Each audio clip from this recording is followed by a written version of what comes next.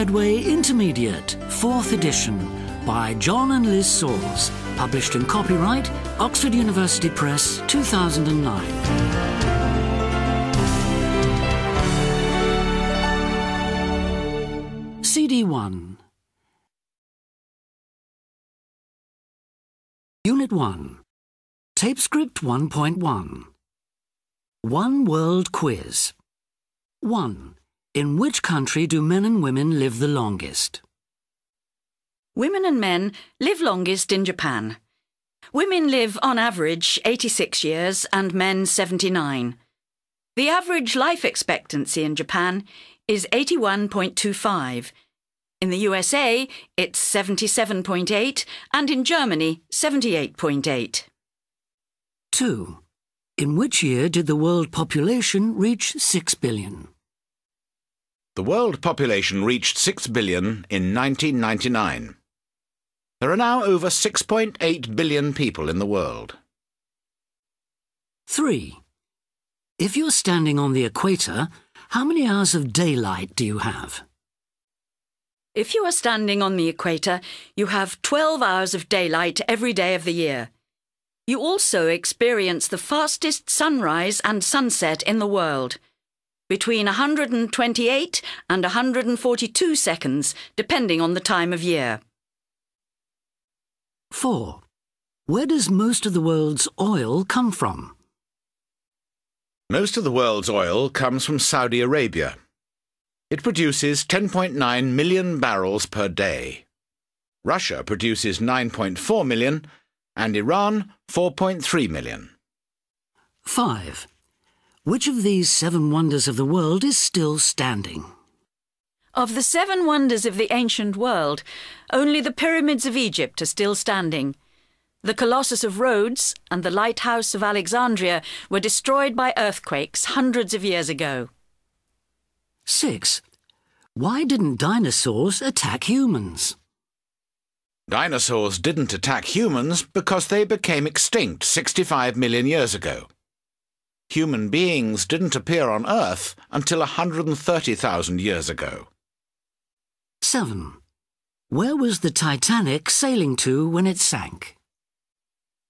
The Titanic was sailing to New York from Southampton when it hit an iceberg on April 14, 1912. 8. How long has Elizabeth II been Queen of England? Elizabeth II has been Queen of England since 1952. She was on holiday in Kenya when her father, King George VI, died. 9. How many people have won the Nobel Peace Prize since it started in 1901? 94 people have won the Nobel Peace Prize since it started in 1901. These include Nelson Mandela in 1993 and Mother Teresa in 1979. 10. How long have people been using the Internet? People have been using the Internet since 1969. It was invented by the US Department of Defense as a means of communication. It first went live in October 1969 with communications between the University of California and the Stanford Research Institute. 11. How many languages are spoken in Switzerland? Four languages are spoken in Switzerland German, French, Italian, and Romansh. German is the most widely spoken. 63.7% speak German, 19.2% French, 7.6% Italian, and 0.6% Romansh. 12. In which country were women first given the vote? New Zealand was the first country in the world to give women the vote in 1893. Canadian women were given the vote in 1917, but women in Liechtenstein weren't allowed to vote until 1984.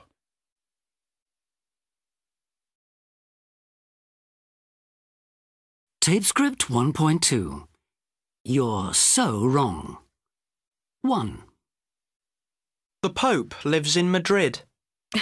He doesn't live in Madrid. He lives in Rome, in the Vatican. 2. Shakespeare didn't write poems. You're wrong. He wrote hundreds of poems, not just plays. 3. Vegetarians eat meat. Of course they don't eat meat. They only eat vegetables and sometimes fish. 4. The internet doesn't provide much information. Rubbish! It provides lots. Sometimes I think that it provides too much. 5. The world is getting colder. It isn't getting colder, it's getting hotter. Haven't you heard of global warming? 6.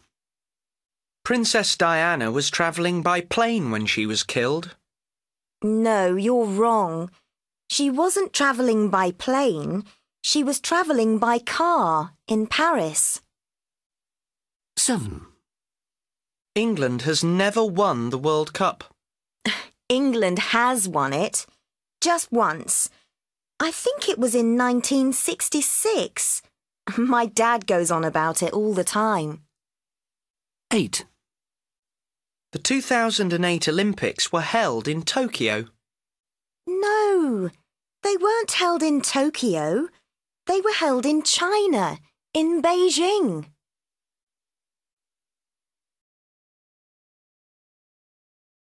Tape script 1.3. Is or has. 1. My brother's just got a new job. 2. He's working in South America. 3. He's been there three months. 4. He's having a great time. 5. He's never worked overseas before. 6. His company's called Intext Worldwide.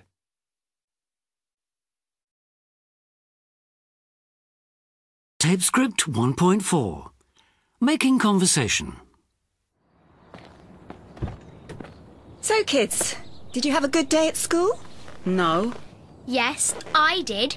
We were practicing for the school concert. Oh, lovely.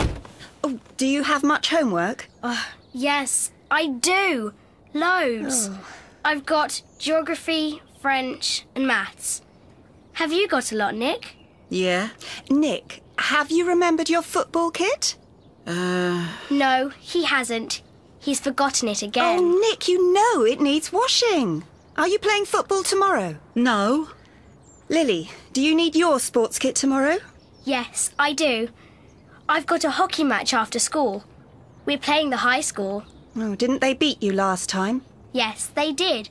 But we'll beat them tomorrow. No, you won't. Your team's rubbish. Okay, that's enough, children. Do up your seatbelts. Let's go.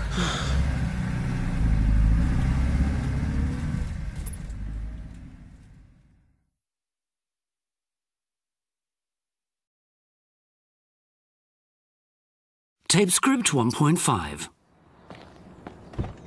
So, kids, did you have a good day at school? No, I didn't. Not really. We didn't have any of my favourite subjects. I did. I had a brilliant day. You were practicing for the school concert. Oh, lovely. Oh, do you have much homework? Oh, yes, I do. Loads. I've got geography, French, and maths. Have you got a lot, Nick? Yes, I have. Loads of it. I have to write a geography essay on Antarctica. 1,500 words. Oh, Nick, have you remembered your football kit? Oh, no, I haven't. Sorry, Mum. Oh, Nick, you know it needs washing. Are you playing football tomorrow? No, I'm not, thank goodness. The match was cancelled. Lily, do you need your sports kit tomorrow? Yes, I do. I've got a hockey match after school. We're playing the high school. Didn't they beat you last time? yes, they did. But we'll beat them tomorrow. Hmm, I'm not so sure about that. Okay, that's enough, children. Do up your seatbelts. Let's go.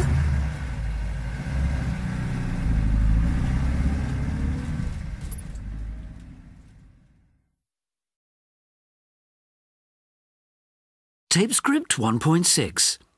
1. Did you hear that noise? Yes, I did. I think it was thunder. 2. Are you doing anything tonight? No, I'm not. Do you want to come round? 3. Have you seen my mobile phone anywhere? No, I haven't. Have you lost it again? 4. Did you get those shoes you liked? No, I didn't. They didn't have my size. 5. Is it time for a break? Yes, it is, thank goodness.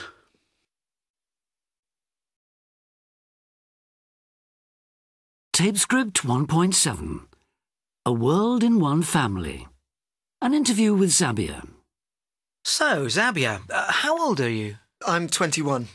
And I know you have an interesting background. What nationality are you? Well, I've got a British passport. So you're British, uh, but your parents, what nationality are your parents? Well, my dad's Bolivian. He was born in Bolivia in South America. But he's had a British passport for the last 20 years. My mum was born in Spain, in the Basque Country, and she still has her Spanish passport. So how did they meet and end up having children in England? Um, but they met when they were both studying English in England. um, and uh, about three years after that, they got married, and here I am. and then my brother. And what was it like growing up in England with a Spanish mother and a Bolivian father? I don't think I actually noticed nationality for years. Um, probably the first time I really noticed a difference was at secondary school. England were playing Spain in Euro 96, and my classmates made me choose which country to support. so, which country did you support?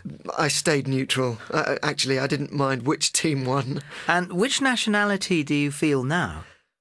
I'd say I was English rather than British. Um, but I'm also very proud of my parents' heritage, half Basque and half Bolivian. I like that. What contact have you had with your family abroad? Well, I've only actually been to Bolivia once, um, when I was a baby. I've had more contact on my mum's side.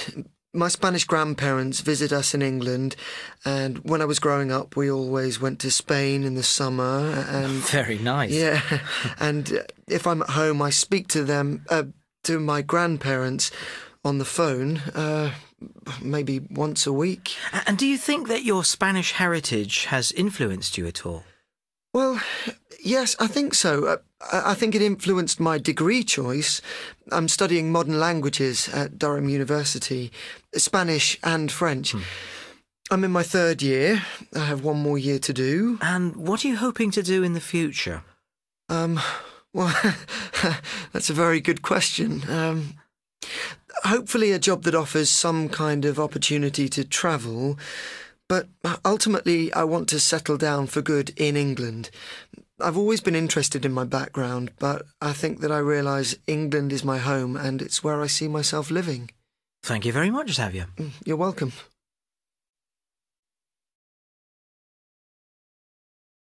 Tape script 1.8 An interview with Anna.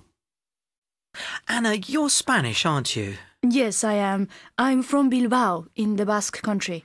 And how long have you lived here in Oxford? Oh, 23 years. And how did that happen? Well, I wanted to improve my English, so I came to England to study. Originally, I came for six months, but uh, I met my husband. uh, we met at the college. Actually, we met on the way to the college in the street. You met in the street? Yes. It was uh, my first day, and I was walking up the hill to the college, and Deo, uh, that's my husband, was driving up the hill, and he stopped and offered me a lift, which I refused. you refused? yes. But we ended up in the same class. I went into the class, and there he was. and your husband's from Bolivia, isn't he? Yes, he is. So that means you speak the same language? Yes, Spanish. So why did you decide to live in England? Well, mainly because my husband had a job here, and, uh, well, we kind of decided we wanted a place in the middle between uh, Spain and Bolivia. a nice idea. And you have two sons? Yes, I do. Uh, Xavier is 21, nearly 22, and James is 19. So, what's it been like for them growing up in England with parents of different nationality? Well, I think because we live in Oxford, a cosmopolitan city, they didn't notice it too much. They're both bilingual, presumably. No, not really. Oh. Because when they were children, even though we spoke to them in Spanish, they always replied in English. Hmm, interesting. Uh, tell me, how much contact has your family here had with the families in Spain and Bolivia? I think more with my family in Spain because it's closer. We always spend summer there, uh, two or three weeks usually. And the Bolivian side? Well, my husband keeps in touch all the time, but his family have never been here. Never? Never. We went to Bolivia once when Xavier was 18 months old. James has never been. So, what are the children doing now? Xavier's at university, and James has just finished school. He's been working in a restaurant, saving money to travel. And what do they want to do in the future? Well, James, he's going to travel to Bolivia at last. Hmm. then he's going to university to study biology. And Xavier? I think he wants to work in the Foreign Office. Anna, is it possible to sum up the pros and cons of bringing up a family in another country to your own? Well, I think in a way it's good because you can take the best things from both cultures, but I don't think my sons will ever feel 100% English because their parents aren't English. It's quite tricky.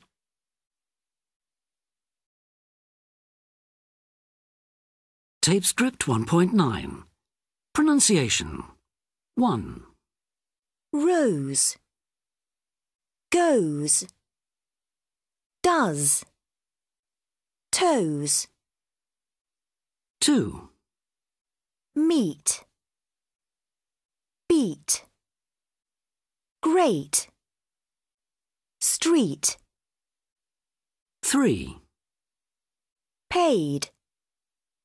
Made. Played. Said. 4. Done. Phone. Sun.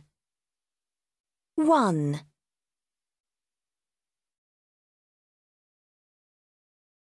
Tape script 1.10 Mother. Enjoy. Apartment. Holiday. Population.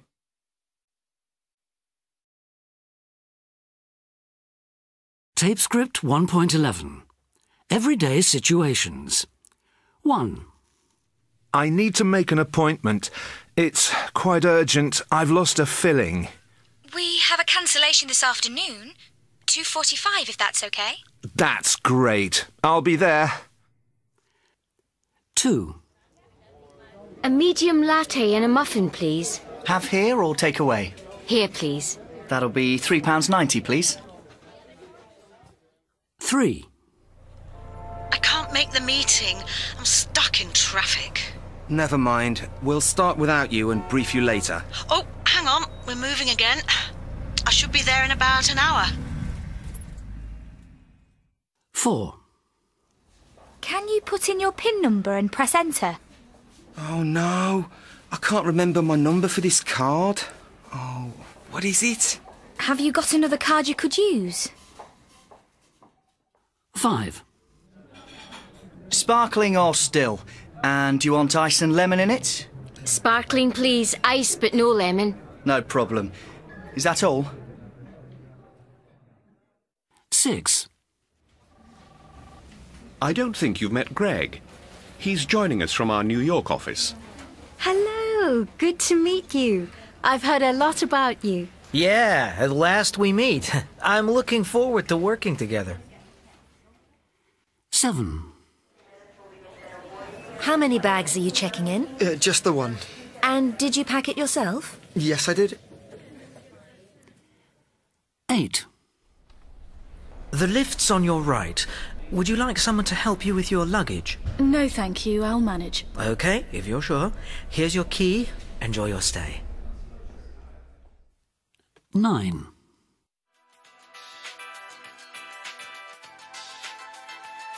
Please hold. Your call is important to us. All our operators are busy at the moment, but one of them will be with you shortly. If I have to listen to that again, I'll go mad. Can I help you? At last, a real person. Do you know how long I've been waiting? 10. There are still tickets for the 5.45 performance, but the 8.45 performance is sold out, I'm afraid. That's fine. We'll have two, please. One adult and one child. Right, two for 5.45. The doors open at 5.